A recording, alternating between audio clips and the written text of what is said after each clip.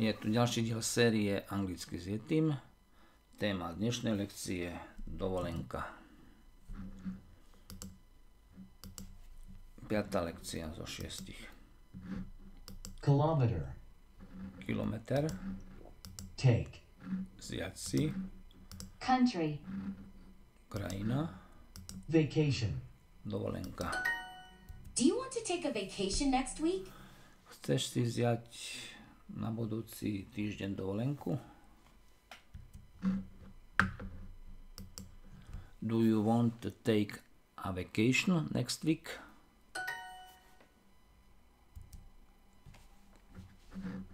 This year. Tento rok? Passport. Pas? country, Krajina? Windy. Veterno. My friends and I travel a lot. Moji priatelia a ja cestujeme veľa. My friends and I travel a lot. Can I take a vacation in May? Talk. Take. Môžeme si vziať dovolenku v maji. Auto. Auto. Auto. It's often cold in Finland. Vo Fínsku je často chladno.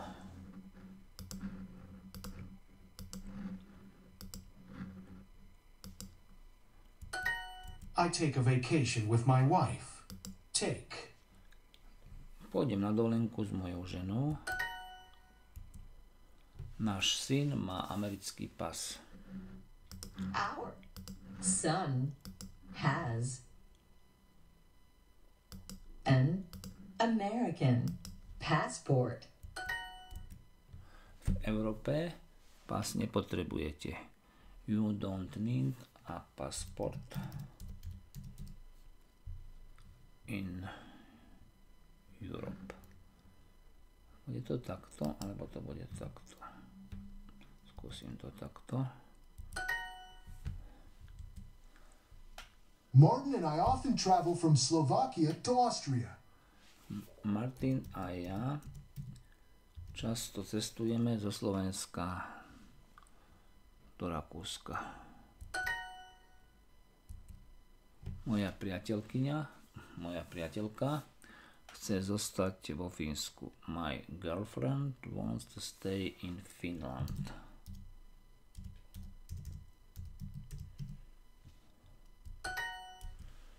Z do Rakúska. We want to go from Hungary to Austria. Moji kamaráti a ja veľa cestujeme. My friends and I travel a lot.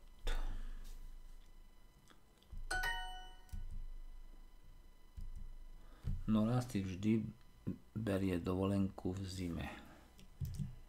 Nora always take a vacation in winter.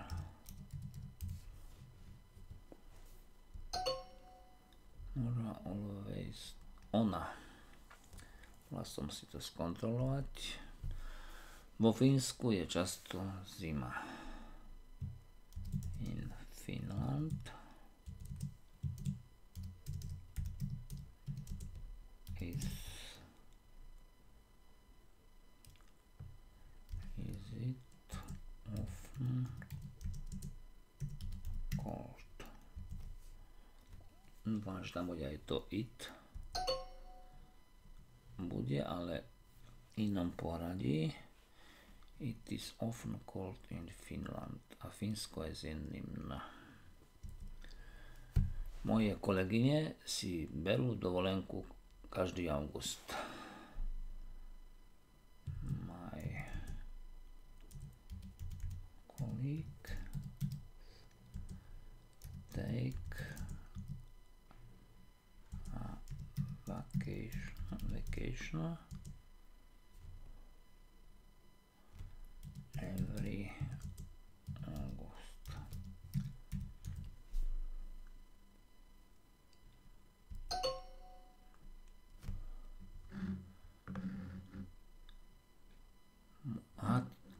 To nie je množné číslo, ale jedna kolegyňa.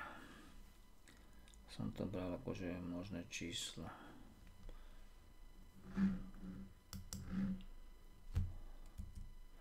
Nora si vždy berie dovolenku v zime. Nora always takes a vacation in winter. Vo Fínsku je často zima. It's often cold in Finland.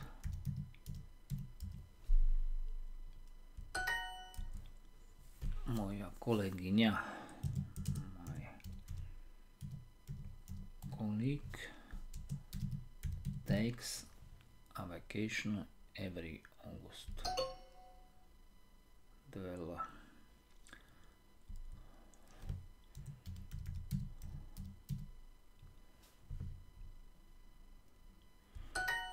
Tu som mal strašne veľa chýb.